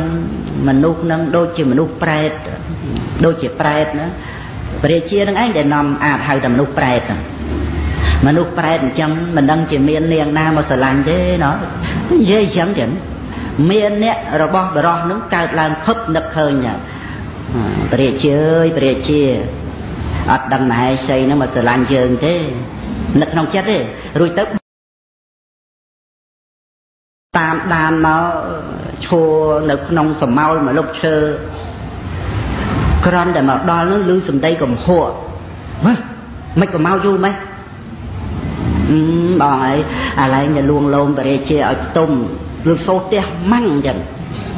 មិនមែនម៉ាក់លបទេបរោះគោមហ្នឹងមិនមែនស្លូតបូតទេណា ក្រទៅឃ្លានតែសម្លឹកក្រមកផ្ទះក៏ភ្លៀងម្ដាយឡើងលបូតអាស្អីពាក់នឹងតិចទាំងហ្នឹងបាត់មកខាងទៅបាត់ទៅបរិជាចាប់ផោះតាំងបានហើយបានចាប់ផោះតាំងបានខ្ទាតអាអាអាទឹកនឹងនឹងឯងដែលព្រះរាជារើសយកមកហើយស្អែកឡើងឲ្យមហេសីប្រដាប់អលង្ការនឹងទៅ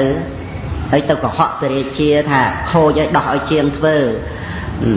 ព្រះរាជាថាអេត្រូវតែមកពាក់អាមជាងហៀងនឹងទៅទៅដល់ថាខូចទៅតាមសួរជាងជាងថាអត់មានផងមហេសីអត់មានយកមកឲ្យផងព្រះរាជាបោះអាមហៀងនឹងទៅខ្វោកទៅមុខបានពោលប្រាប់បរមពុរិស័ទថាពិតប្រកបហើយដោយពាក្យណែឯងថាអញ្ចឹងពេជ្ជឃាតយកទៅបហាជីវិតហើយបរោហិតហ្នឹងលួងលោមពីពេជ្ជឃាតយកទៅរក្សាទុក អត់ប្រហារជីវិតទេមកលួងលោមបរិជាព្រះអង្គហើយកុំក្រោតខឹងអីជាមួយនឹងមហេសីព្រះអង្គយាងទៅជាមួយគ្នានឹងទូលបង្គំមើលស្រុកមើលទេសគេទៅព្រះបរមពុរិស័ទលួងលោមបរិជាទៅនាំបរិជាទៅឲ្យបានដឹងរឿងសភាពនៃស្ត្រីទាំងឡាយទៅតាមធម្មជាតិ យ៉ាងណាយ៉ាងណាមើលមើលទៅទៅជួបរឿងមួយសិទ្ធិម្នាក់ហ្នឹងគាត់រៀបចំប្រគល់កូនកំមុំហ្នឹងឲ្យមេប្តីណាដង្ហែកូនកំមុំហ្នឹងទៅរៀបការដាក់នៅក្នុងកូនរទេសបិទទាំងនោះហើយបរិវារច្រើនយ៉ាងសម្បើមទៅណាព្រះបរមពុរិស័ទបញ្ចាលចន្ទៈហ្នឹងទូលព្រះជាថា នាងកមារីនេះឡើងនាងកមារីនេះហ្នឹងព្រះអង្គអាចស្រឡាញ់បានតាកុំនិយាយចឹងមនុស្សគេអ៊ូអហែហមទៅខ្លែងខ្លួនទៅធ្វើជាមនុស្សធម្មតាទៅចឹងហើយព្រះបរមពុរិស័ទហ្នឹងថាអញ្ចឹងចាំពិសោធន៍មើលទៅនាំគ្នាដើរផ្លូវយ៉ាងលឿនទៅស្កាត់នៅពីមុខ ធ្វើជាវាំនួតមួយបាំងដាក់ព្រះជាក្នុងនឹងឯងចឹងបាំងឲ្យចិត្តរួចទៅបញ្ចាលចន្ទៈហ្នឹងមកអង្គុយផ្លូវធ្វើជាយំដល់ទៅពេលក្បួនហែកូនកំមុំហ្នឹងទៅបីដើរសួរអូយមិនក៏បានឯងយំសោកបោកខ្លួនត្បើម្លេះអូយលោកចេដ្ឋីអើយខ្ញុំមកពីស្រុកឆ្ងាយប្រពន្ធមកឈឺពោះ ចង់ឆ្លងតលេហើយពិបាកណាស់អត់មានអ្នកណាជួយទេរត់តែញាតម្នាក់ជួយក៏មិនបានផងបើសិនបើមានស្ត្រីម្នាក់ទៅជួយនឹងល្អអស់យ៉ាងណាហើយលោកសិទ្ធិហ្នឹងក៏លឺអើមែនណាស់ណាបានអ្នកណាទៅជួយមើលលោកសិទ្ធិលោកសិទ្ធិរៀបចំទុកដាក់កូនស្រីដើម្បីឲ្យបានមង្គលល្អមានកូនចៅល្អឲ្យឲ្យកូនស្រីនឹងចូលទៅ លោកសិទ្ធិអើមែនណាមង្គលល្អឲ្យកូននឹងទៅដើម្បីបានជួយសង្គ្រោះគេឲ្យមានកូនហ្នឹងវាបានបន់ហើយគាត់ចង់បានចៅនោះរៀបការឲ្យឆាប់បានចៅវាមានមង្គលភៀបអើកើតឡើងអញ្ចឹងទៅឲ្យកូនកំមុំនឹងឯងចូលទៅនោះគ្រាន់តែចូលទៅជួបព្រះជាវឹប បានព្រះជាបាទមិនសទុះចេញមកបៃតាសុកូន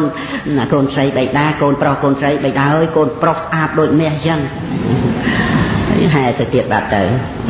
បានបញ្ចាលចន្ទៈចូលទៅជួបព្រះជាណាព្រះរាជាជ្រាបមករឿងហ្នឹងចិត្តទៅនាំទៅពិសោធន៍រកឧបាយវិធីផ្សេងផ្សេងឲ្យព្រះរាជាយល់រឿងទាំងអស់ហ្នឹងពេលត្រឡប់ចូលព្រះនគរវិញលើកលែងទោសបហាជីវិត ម៉ែស្រីកិនរីហ្នឹងទៅឲ្យទៅនៅឆ្ងាយទៅហើយមិនផុតពីរៀបចំអភិសេកស្ត្រីម្នាក់ដទៃជាម៉ែស្រីដដែលឡើងវិញណាហ្នឹងហើយព្រះបរមពុរិស័ទណាក្នុងភាពជាតាវៅទៅណាកុណាលៈនេះសំដែងច្រើនណាស់ណាពីរឿងរូបសម្លេងក្លិនរស សម្ផស្សគឺជាអាវុធរបស់ស្ត្រីចឹងណាគុណចាស់លើកពីព្រះលើកពីរាជសីរាជសីដែលចាប់សត្វមានអាវុធ5ណាទៀតមាត់មួយជើង4ចាប់សត្វឥតត្រាបណីរាជសីយ៉ាងណាមិញស្ត្រីចាប់បរោះដោយអាវុធទាំង5គឺរូបសម្លេងក្លិនរសសម្ផស្សណា កាមគុណទាំងឡាយដូចជាផ្លែឈើពុលដែលបកុលបរិភោគហើយនឹងស្លាប់កាមគុណនោះ ដែលបកុលជ្រុកងប់ទៅហើយនឹងដល់នៅសេចក្តីស្លាប់ដោយសារតែកាមគុណនោះឯងដូចជាបកុលបរិភោគនៅផ្លែឈើពុលហើយក្រៅពីនឹងទៀតកាលណាគុណចាស់និមន្តមើលខ្លួនឯងចុះណាអ្វីអ្វីទាំងអស់មយាស្រី40ក៏នៅក្នុងនឹងដែរណាទាំងក្នុងកុណាលៈជាដក បៃដកខ្មែរយើងលេខ61ណានិមន្តជ្រាបចឹងទៅហើយធัวនេះគឺ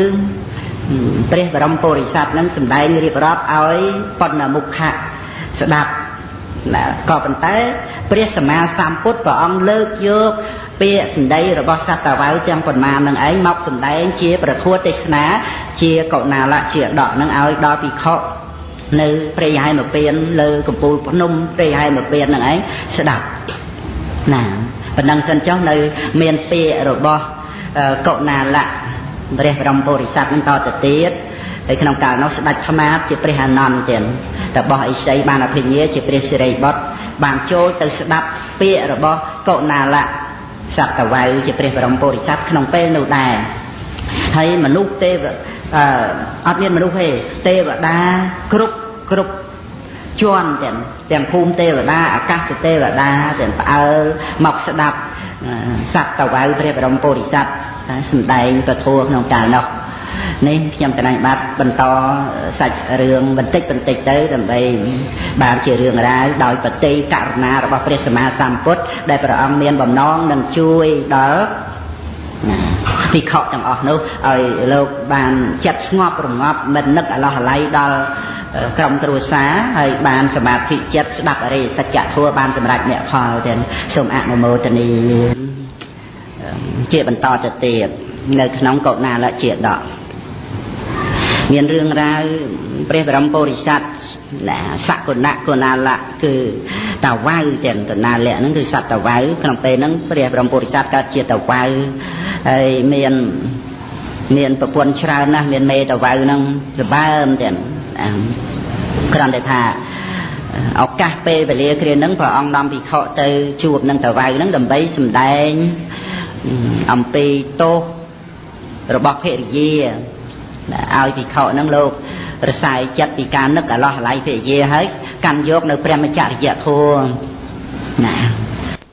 ហើយក៏បានឱកាសជួយភរិយានឹងដែរទៀតបានឱកាសជួយភរិយាដែលនឹកអឡោះអាល័យប្តីមកតាមប្តីហើយឃើញប្តីនៅក្នុងព្រះមច្ចរិយធម៌ក៏ចូលកម្មភ្នោះក្នុងសំណាក់ភិក្ខុនីទីបំផុតក៏បានដឹងពីប្រយោជន៍នៃព្រះមច្ចរិយធម៌បាទនឹងបតីរបស់ព្រះរាមានុភា ដើម្បីជួយសត្វលោកព្រះអង្គហត់នឿយនៅក្នុងសង្សារវដ្តនេះដល់យ៉ាងក្រៃលែងតែព្រះអង្គនឿយព្រះកាយណានឿយព្រះកាយដើម្បីជួយច្រោចស្រង់សត្វលោកតែក្នុងបតិរបស់ព្រះអង្គមិនមានតោមនោះមិនមានការលំបាកចង្អៀតចង្អល់ជាអកុសលអីទេគឺបតិនឹងរួចផុតស្រឡះពីសេចក្តីទុក្ខដោយតោមនោះដោយសេចក្តីចង្អៀតចង្អល់ព្រះអង្គសម្ដែងពធ មានឱកាសចូលកម្មអរហត្តផលសមាបត្តិភ្លាមណាគឺព្រះអង្គចូលនិយាយមកថាចូលនិព្វានភ្លាមចឹងទៅគឺនិព្វានហ្នឹងជាអារម្មណ៍របស់ផលញ្ញាណណាហៅថាផលសមាបត្តិនោះគឺព្រះអង្គចូលផលសមាបត្តិព្រឹបជាប្រកដីអត់មាននរណាដូចព្រះសម្មាសម្ពុទ្ធទេក្នុងការចូលផលសមាបត្តិ គឺបានដីថាព្រះអង្គនួយណាយក្នុងសង្សារវដ្តជីវិតនេះដល់យ៉ាងក្រៃលែងព្រះអង្គចូលនិព្វានរឿយរឿយចឹងណាព្រះអង្គនួយណាយក្នុងសង្សារវដ្តដោយព្រះបញ្ញារបស់ព្រះអង្គ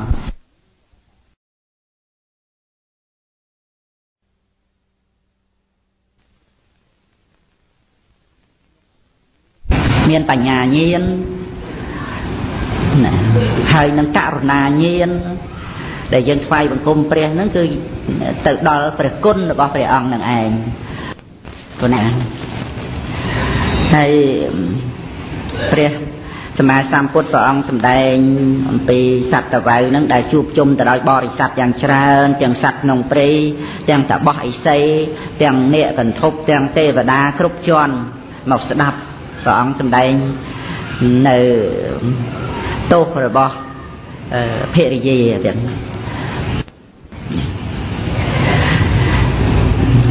មិនមែនអ្នកស្ដាប់នឹងតិចត្រឹមតែប៉ុណ្ណាមុខៈអីណាមកច្រើនណាព្រះអនន្តក្នុងកាលនោះជាស្ដេចខ្មាតក៏មកព្រះសិរីបុត្រនិរតៈតាបោះបានអភិញ្ញានឹងក៏តែមកសម្ដែងនៅពគាថាផ្សេងផ្សេងទៅព្រះអត្តកថាក៏បញ្យលសាច់រឿង ទាំងអស់ហ្នឹងរហូត1 2 3 4មកមានរឿងបញ្ចបាបៃដែលយើងធ្លាប់ឮបញ្ចបាបាណាចឹងហ្នឹងក៏កោណាលៈព្រះបរមពុរិស័ទហ្នឹងសំដែងដែរណានាងបញ្ចបាបៃហ្នឹងនាងហ្នឹងមានមានសភាពអាក្រក់ដែលជាផលរបស់បាប5យ៉ាងចឹង គឺដៃជើងភ្នែកច្រមុះមាត់ខុសកន្លែងវាបោចធំតូចអីចឹងទៅណាណាដូចកូនបិសាចចឹងវាខុសពីមនុស្សធម្មតានៅនឹងភូមិមួយខាងកើតខ្លោងទ្វារនគរពារាណសីក៏ប៉ុន្តែវាមានរឿងរ៉ាវជាមួយនឹងនាងបញ្ញបាបៃហ្នឹង ពេលដែលព្រះរាជានគរពរាណសីនឹងឯងខ្លែងខ្លួនព្រះអង្គយាងសើបការពិតពីអ្នកស្រុកតើតេះឌីលព្រះអង្គរឿងអីយ៉ាងណានឹងសើបមើលតើសរសើរព្រះអង្គរឿងអីគឺដើម្បីនឹងព្រះអង្គបានដឹងពីកំហុសពីព្រោះមាននរណាទៅចេះស្ដីថាបន្ទោសអីឲ្យស្ដាច់យោ មានតែសរសើរសរសើរទៅឆ្នេះព្រះរាជាលោកជ្រាបណាព្រះរាជាបានជ្រាបក្នុងសេចក្តីនឹងដើរចូលទៅក្នុងភូមិស្រុកនឹងស្ដាប់អ្នកស្រុកនិយាយគ្នាបន្លំខ្លួនខ្លែងខ្លួននឹងពេលយប់យប់ចឹងណាដល់ទៅទៅដល់ភូមិកន្លែងហ្នឹងទៅភូមិកន្លែងហ្នឹងនាងបញ្ញបាបៃហ្នឹងវាចម្រើនវ័យមកហើយ ចេះកំមុំចេះអីហើយហើយប៉ុន្តែនៅលេងជាមួយក្មេងៗចឹងពេលហ្នឹងរត់ចូលរត់ឡើងទៅទៅប៉ះនឹងព្រះជាណាប៉ះនឹងព្រះជាហើយកុណាលៈបរមពុរិស័ទហ្នឹងបានសម្ដែងហើយតែព្រះរាជាហ្នឹងគឺយើងហ្នឹងក្នុងកាលនោះបានជាយើងវាដឹងរឿងហ្នឹងណាគឺព្រះបរមពុរិស័ទអញ្ចឹងប៉ះទៅ ព្រះរាជាក៏ចាប់ដៃនៅពេលដែលប៉ះហ្នឹងចាប់ដៃជួយទប់កុំឲ្យដួលនោះស្រាប់តែញើរំជួយដល់បេះដូងរបស់ព្រះអង្គហ្មងចឹងដោយអំណាចនៃសម្ផស្សដោយអំណាចនៃសម្ផស្សថតថាពៈដែលប៉ះប្រហោះហ្នឹងចឹងគឺសម្ផស្សនឹងប្រកបឡើងដូចជាទឹកមកហ្មងទៅណាញើរំជួយដល់ព្រះអង្គហើយ រូបរាងដោយកូនបិសាចអញ្ចឹង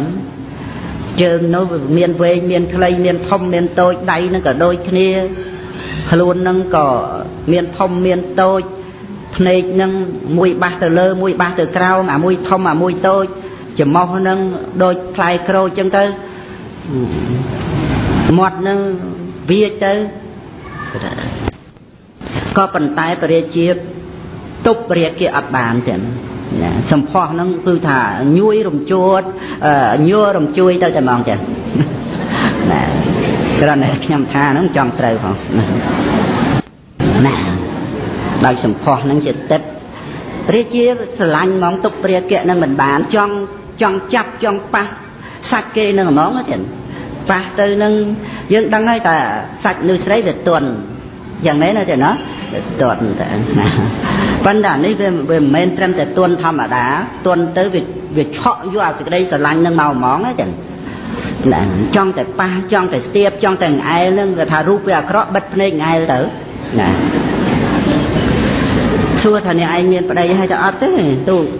ខ្ញុំអត់មានប្តីអត់មានស្គាល់តែស្ដាច់ទេខ្ញុំមានប្តីណាអញ្ចឹងយើងយើងត្រូវការនាងជាប្រពន្ធ ទេខ្ញុំទៅប្រាប់ម៉ែឪខ្ញុំសិននាងនឹងមានផ្ទះនៅនៅតែឯងចឹងនៅតែឯងម៉ែឪនៅផ្ទះមួយផ្សេងទៀតម៉ែឪឲ្យកូននឹងនៅតែឯងរូបវាអាក្រក់ពេកនៅទៅសូមទានគេក៏សូមទៅអីក៏អីទៅហើយតែជួយចាំជួយទំនុកបំរុងជួយអីអញ្ចឹងហើយកូននឹងចូលចិត្តលេងគ្នាគ្នាឯងទៅព្រមនៅអញ្ចឹងទៅចឹងរត់ទៅទាំងយប់ប្រាប់ម៉ែឪ ឪពុកម្ដាយថាអើមានបរោះណាចង់បានខ្លួនឯងជាប្តីយកគេទៅស្រួលអត់ទាំងមកមើលកូនភាសានៅទៅទៀតទៀតនាងនោះមកបានបរិជានៅជាមួយទាំងយប់នឹងឯងហើយបរិជាជាប់ជំពាក់នឹងថោតថាពៈនឹងយប់ឡើងភៀសខ្លួនមកមកទាំងយប់ទៅទាំងយប់ណាមកពី ពីជាតិមុននាងបញ្ចបាបៃហ្នឹងក៏កើតជាកូនអ្នកក្រដែរជាអ្នកកំសត់ដែរទេធ្វើដីភក់លេជាមួយលមួកគោជាមួយចំបើងអីអីអញ្ចឹងទៅដើម្បីធ្វើជញ្ជាំងផ្ទះ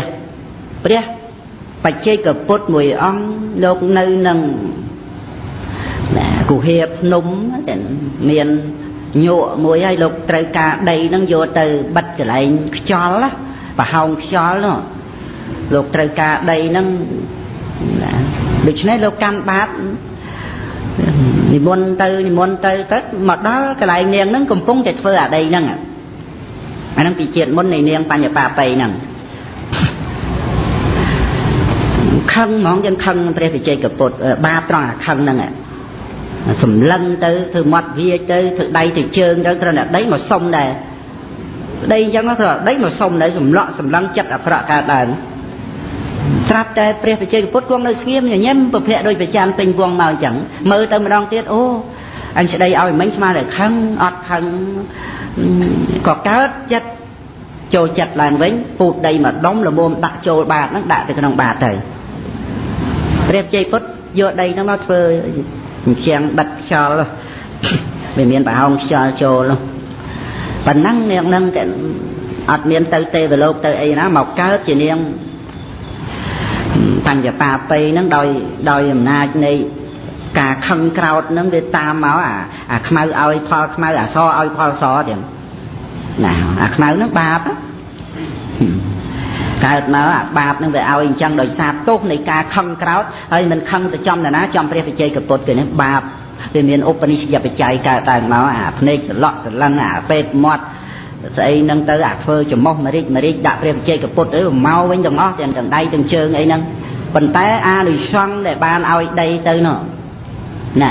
ពូតដីច្បាច់ដីទៅនេះកម្លាំងដីដែលពូតច្បាច់ ទៅនេះគឺសំផស្សខ្លាំងនៅនឹងដៃនោះហ្មងចឹងណាហើយវាមិនមែនមានតែដៃនោះណាវាមានពូជដែលរៀបចំឲ្យសំផស្សនឹងផ្សព្វផ្សាយពេញកាយទៅទាំងអស់ចឹងបានជាបរិជាជាប់ជំពាក់នឹងថោតថាពៈនឹងមែនតេនចឹងណាមកនឹងអត់មានចង់មកមើលរូបទេមកតែយប់យប់មានទៅល្អអីរូបមកនឹងអត់មានចង់មកមើលរូបទេមកតែយប់យប់ មានទៅល្អអីរូបប៉ុន្តែតែបានប៉ះហើយគឺថាចិត្តចិត្តនឹងវាបាត់ទុកបាត់កង្វល់ទេណាអាដែលសេចក្តីសបាយវាកើតឡើងលោភៈវាកើតឡើងនឹងផោតថពៈហ្នឹងវាមិនដែលដូចជានាំគ្នាហោះអញ្ចឹងណាអានឹងបានវាជាប់ចិត្តនោះណាណាវាធ្វើឲ្យចិត្តនឹងវាសបាយអត់មានខ្វល់ខ្វាយរឿងទុករឿងកង្វល់អីទៀតលោភៈដែលវាកើតឡើងប្រកបដោយរាគៈដ៏ខ្លាំងក្លាព្រោះតែផោតថពៈនោះ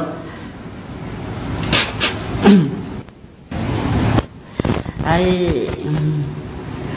នឹងរឿងនាងបញ្ញបាបៃហ្នឹងហើយមិនទៀតវាជិតដល់ម៉ោងទៅឲ្យអស់មួយរឿងទៅណាពេលមួយនោះឪពុកហ្នឹងគាត់កើតរោគធ្លាក់ឈាមហើយមានគ្រូអីអីចឹងទៅមកមើលមកអីទៅថាជាបាលទាល់តែបាយបាយាស់ណាលាយទៅដោយទឹកដោះ មានទឹកខ្មុំមានស្ករគ្រុះអីនោះបានអាចព្យាបាលរោគធ្លាក់ឈាមនឹងបានតំណងជាកាពះមកទៅនោះទេនោះត្រូវថាបាយបាយាស់ហ្នឹងអាចជាបានមិនដឹងទៅរយណាទេយើងអ្នកក្រអីម្លេះនោះព្រោះរឿងបាយហ្នឹងវាសម្រាប់តែគេអ្នកមាននេះណោះអ្នកក្រវាមិនដែលបានទទួលទានទេតែហិតក្លិនហ្នឹងតែដើរទៅចិត្តគេអ្នកមាន ទៅនិយាយចង់និយាយឡើងទៅទៅណែក្រែងលោកកូនភាសាយើងទៅរកបានដឹងមិនដែលឃើញកូនភាសាផងចឹងតែនឹកថាឥឡូវមានកូនភាសាហើយសួរកូនស្រីទៅប្តីកូនឯងទៅរកបានដឹងទៅរកអូខ្ញុំខ្ញុំមិនដឹងទេចាំមើលខ្ញុំទៅសួរគាត់សិនណាចាំយប់គាត់មកដល់ពេលទៅគួយសង្កប់ តបោងផ្អាជាគង់ធ្វើកើតទុកអើវាកើតទុកផងផ្សំផងព្រោះពុកហ្នឹងតែឈឺនោះមកដល់ហ្នឹងដឹងដឹងថានាងហ្នឹងមានអាការៈកើតទុកអញ្ចឹងសួរនាងនាងកើតទុកអីដែលហៅនាងអញ្ចឹងនាងកើតទុកអីអើនាងអូនផងមាននាងអូនផងណាណានាងអូនកើតទុកអីបានថាប្រាប់រឿងទៅទូលព្រះរាជា ហើយសួរថាអញ្ចឹងបងឯងអាចរកបានទេបាយ៉ាស់ហ្នឹងជាឆ្នាំជាបាលឪពុកហ្នឹងអូខ្ញុំនឹងនឹកទៅរយណាទេព្រោះអានឹងវាសម្រាប់តែគេអ្នកមានបរិជាអីណោះអត់មានដល់អញ្ចឹងទៅឃើញប្រពន្ធនៅតែកើតទុកអញ្ចឹងក៏នឹកឃើញមិនអីទេចាំបងព្យាយាមនឹងរួចបានណាព្រះជាបានរីករាយសប្បាយជាមួយនាងនឹងរួចទៅក៏ចេញពីយប់ទៅទៀតទៅណាទៅគិតទាំងគិតថាបើយើងយកនាងនេះមកនៅក្នុងព្រះនគរមនុស្សម្នានឹងថាយើងលប់សតិយកបិសាចមកធ្វើមហេសីមិនគិតធ្វើយ៉ាងម៉េចដើម្បីយកមកឲ្យបានទៅតែរោគឧបាយដល់អញ្ចឹងទៅ ស្អែកឡើងនឹងឯងថ្ងៃឡើងនឹងឲ្យគេដាំវត្ថុបាយយ៉ាស់នឹងឲ្យត្រឹមត្រូវតាមតែនាងនឹងប្រាប់ទាំងអស់ហើយខ្ចប់ដាក់នឹងស្លឹកឈើទៀតស្លឹកឈូកយកមកខ្ចប់មួយហ្នឹងគឺធម្មតាមួយទៀតហ្នឹងឯងដាក់ស្នៀតសក់កែវមณีទៀតណាហៅថាជូឡាមณีស្នៀតសក់ហ្នឹងជាកែវមณีដាក់នៅក្នុងកញ្ចប់មួយទៀតពីរកញ្ចប់ ដល់ពេលជប់ឡើងយកមកទៀតញ៉ាយកមករួចទៅរីករាយជាមួយនាងបញ្ញបាបៃនឹងប្រាប់ឲ្យយកទៅឲ្យលោកឪពុកហ្នឹងគាត់ពិសាកញ្ចប់នេះមុនណាអាកញ្ចប់ហ្នឹងអត់មានស្ងៀតសក់ណាហើយអាកញ្ចប់មួយទៀតហ្នឹងចាប់ដល់ស្អែកដើម នាងហ្នឹងបានយកទៅឲ្យឪពុកឪពុកហ្នឹងគាត់គ្រាន់ទទួលទានបានមួយចំណែកប៉ុណ្ណឹងវាជ្រួតជ្រាបសពសារពាង្គកាយចុះអ្នកក្រវាមិនដែលមានឲ្យជារស់អីជ្រួតជ្រាបប៉ុណ្ណឹងអូមានកម្លាំងព្រឹសឡើងទាំងរួចអាណិតប្រពន្ធអាណិតកូនទុកឲ្យប្រពន្ធកូនហ្នឹងទទួលទានបានដល់3អ្នកមកកញ្ចប់ហ្នឹងមានកម្លាំងកំហែងមែនទេហ្មងចឹងណារួចទៅមកកញ្ចប់ទៀតហ្នឹងទុកវិស្រួលបុលណាចាំបន្តទៅពេលក្រោយណា មិនបានសើចខ្ញុំខ្ញុំទេសតែជាប់គោះម៉ោងតិចចុះណាតែថាទុកពេលក្រោយមិនទុកអាមេធុបាយយ៉ាស់ហ្នឹងមកកញ្ចប់ទៀតហ្នឹងទុកពេលក្រោយណាដល់ទៅពេលស្អែកឡើងព្រះរាជាតុបតែងប្រកាយហើយប្រាប់ថាទៅយកស្នៀតសក់មកឲ្យយើងអ្នកដែលទៅយកមកនោះថារੂអត់ឃើញបាត់អញ្ចឹងឆាប់ ចាត់ចែងនៅឆែកឆែកក្នុងវាំងឆែកក្នុងព្រះនគររੂអត់ឃើញឲ្យឆែកក្រៅព្រះនគរទៀតមើលក្នុងតកូលអ្នកក្រក្រអីហ្នឹងហើយឆែករੂសពគ្រប់ទៅ ទៅចំផ្ទះនាងនឹងឯងចឹងហើយព្រះរាជាប្រាប់ទៀតមើលអាកញ្ចប់ស្អីស្អីហ្នឹងមើលឲ្យអស់គេទៅចាប់ឆែកឃើញនៅក្នុងអាកញ្ចប់បាយហ្នឹងចាប់ ម៉ែចាប់ឪនឹងមកទៅអត់ទេខ្ញុំអត់មានចោលខ្ញុំអត់លួចទេបាយនឹងគេយកមកឲ្យខ្ញុំទេណាណាកូនស្រីខ្ញុំសួរកូនស្រីនឹងទៀតកូនស្រីនឹងថាប្តីខ្ញុំយកមកប្តីនាងមួយណានៅឯណាថាអត់ទេខ្ញុំមិនដែលឃើញហ្មងមកតែយប់ហើយបើអ្នកឯងរੂប្តីអ្នកឯងមិនឃើញទេគឺងាប់ទៅទាំងអស់គ្នាហ្នឹងទាំងម៉ែទាំងឪទាំងនាងហ្នឹងពុកម្ដាយនឹងយំហើយអញ្ចឹងទៅ រាជបរោះក៏ទៅក្រាបទូលព្រះរាជាព្រះរាជានឹងចាត់ឲ្យគេមកសួរទៀតតើអាចចំណាំចាំអីទេប្តីរបស់នាងនឹងថាខ្ញុំចំណាំរូបអត់បានទេព្រោះយប់ងងឹតមិនដឹងមុខមាត់មិនទេប៉ុន្តែបើឲ្យខ្ញុំចាប់ដៃខ្ញុំចំណាំបានតកែរឿងស្គាល់ដៃទាំងព្រោះណាអញ្ចឹងព្រះរាជាថាបើអញ្ចឹងប្រជុំប្រុសប្រុសទាំងអស់ដើម្បីឲ្យនាងនឹងចាប់ដៃ ធ្វើជាវាំងនួនមួយបិទចោះប្រហោងវាំងនួនហ្នឹងសម្រាប់ឲ្យលូកដៃទៅនៅពេលដែលចាប់ដៃហ្នឹងបាំងវាំងនួនតែមិនឲ្យឃើញមុខទេដើម្បីឲ្យវាមូលអារម្មណ៍ទៅតាមពិតបរិជាហ្នឹងមានមានឧបាយកលយ៉ាងម៉េចយ៉ាងម៉េចចាំមើលស្ដាប់តទៀតណាណាហើយហើយនាំនឹងនាងនឹងមកបង្ហាញគេនឹងសិនអាមុនដំបងនឹងចូលវាំងនួនហ្នឹងម្នាក់ម្នាក់ក៏ថាងាប់ហ่าនឹងអាណាទៅធ្វើប្តីវាទេ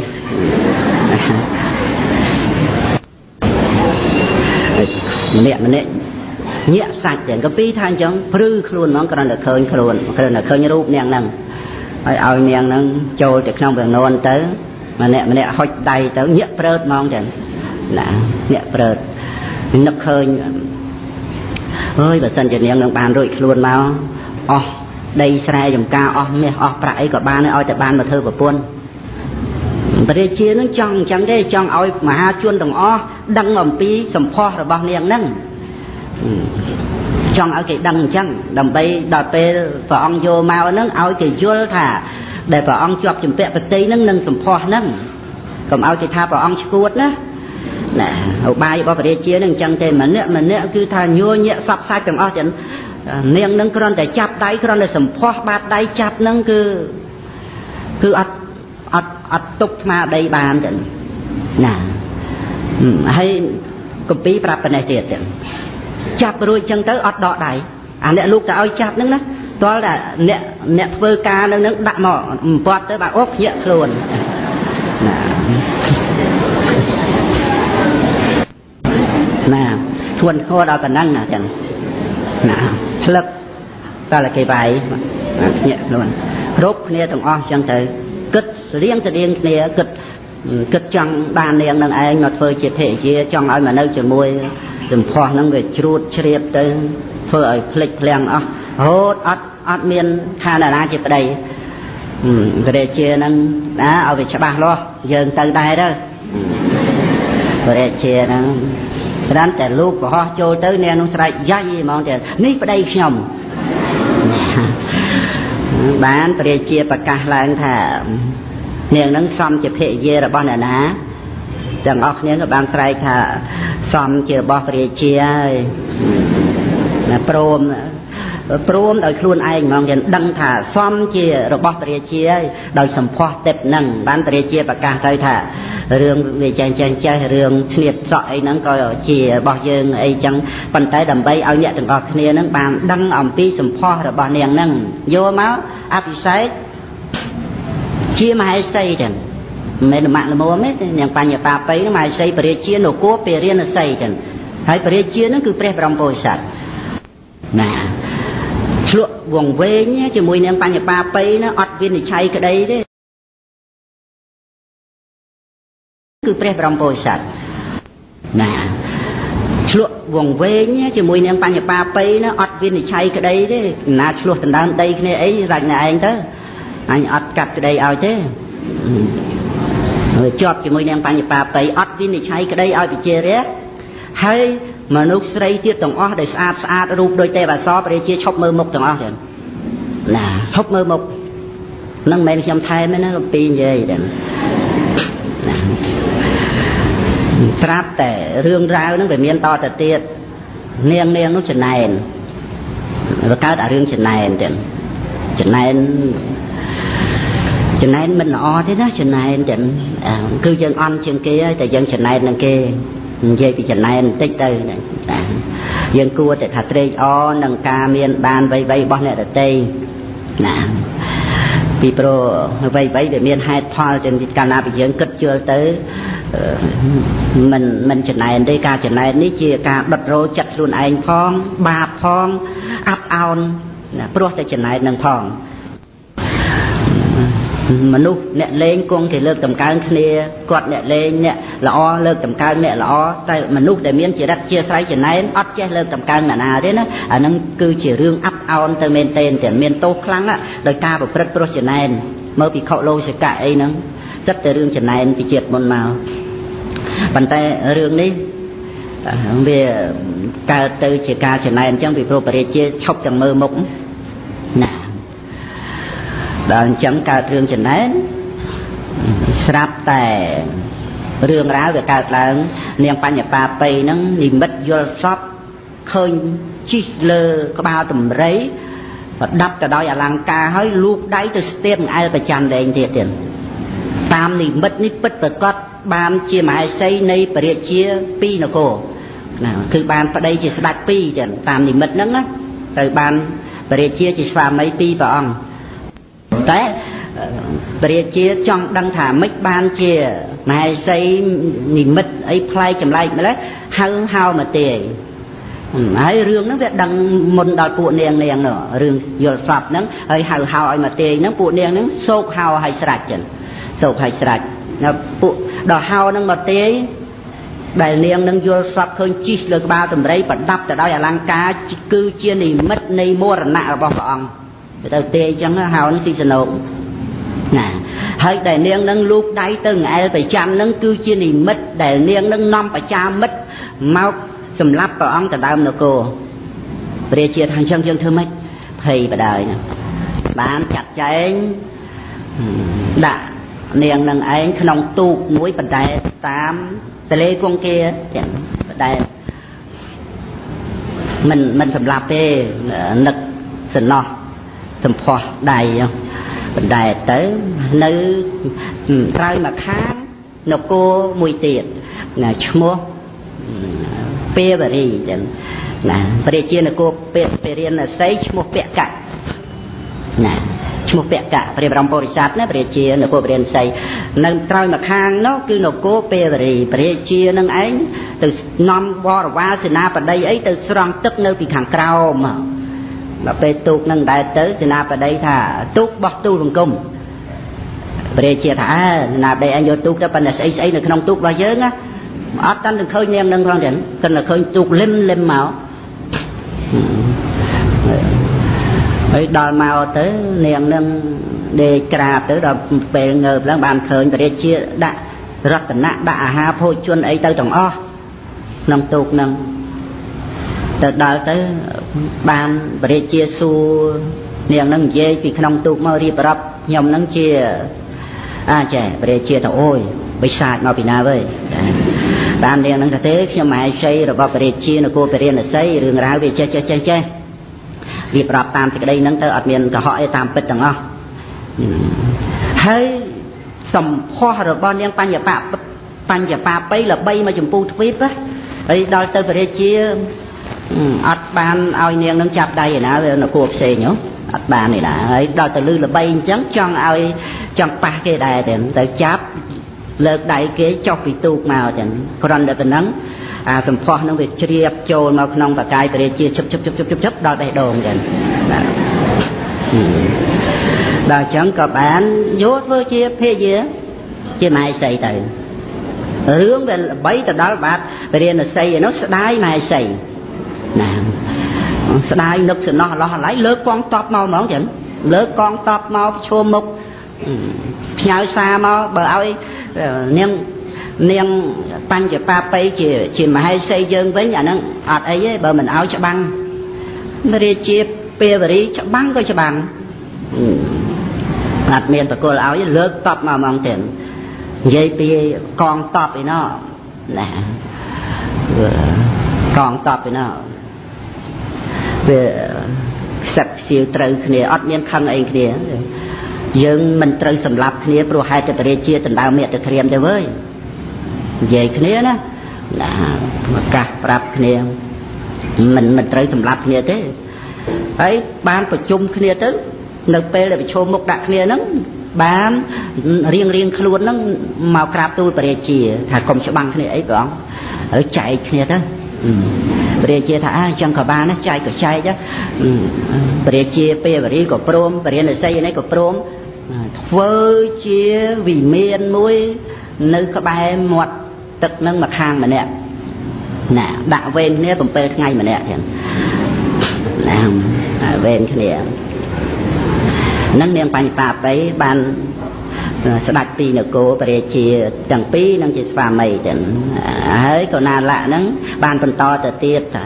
យើងដឹងចឹងយើងដឹងនាងតញ្ញបាបៃហ្នឹងរួចតែមួយអាទិត្យពីនគរពរិណស័យ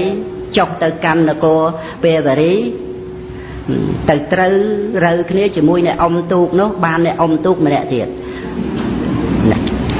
ទោះជាយើងដឹងហើយក៏យើងអត់អាចលេងយ៉ាងបានដែរព្រោះសម្ផស្សសម្ផស្សហ្នឹងគឺជាទីពេញចិត្តរបស់យើងហើយរឿងហ្នឹងប៉ុណ្ណឹងដល់កន្លែងហ្នឹងបានជាប់ណាសម្រាប់ត្រង់ដែលថាកុណាលៈព្រះបរមពុរិស័ទដែលជាតាវៅហ្នឹងរៀបពោលរៀបរាប់អំពីការវង្វេងវង្វាន់ដោយសារតែភរិយានឹងឯងចង់ច្បាំងគ្នាក៏ដោយសារភរិយានឹងឯងហើយជាប់ជំពាក់ទៅនឹងសម្ផស្សហ្នឹង ហើយសម្ផស្សហ្នឹងជាទឹកដោយអានិសង្ឃដែលបានថ្វាយដីដល់ព្រះវិជ័យកពុទ្ធហ្នឹងណាទៀតប៉ុណ្ណឹងចោះហួសម៉ោងទៅទេដោយអំណាចនៃសេចក្តីជ្រះថ្លានៅក្នុងព្រះធម៌របស់ព្រះសម្មាសម្ពុទ្ធទាំងពុកណាគុណចាស់ទាំងញាតិញោមទាំងស្រីទាំងប្រុសស្ដាប់ព្រះធម៌សំបីរឿងនាងបញ្ញបាបៃហ្នឹងក៏ខ្ញុំកណ្ដាលបានបានអានទៅក៏បានចាប់យកនៃសេចក្តីថា ទាំងប្រុសទាំងស្រីហ្នឹងមានតែការដែលយើងចូលមករកព្រះធម៌តែប៉ុណ្ណោះដែលព្រះធម៌ហ្នឹងអាចជួយឲ្យយើងរួចផុតពីអំណាចនៃកិលេសមានតែប្រធัวនឹងឯងនឹងជួយយើងឲ្យរួចផុតអំពីអំណាចនៃសេចក្តីទុក្ខសោកអំពីកំហុសគ្រប់យ៉ាងទាំងអស់នៅក្នុងជីវិតនេះទាំងប្រុសទាំងស្រីមែនទេទៀតណាដែលយើងចូលមករកប្រធัวទៅប្រធัวនឹងនាំឲ្យមានការចម្រើនរុងរឿង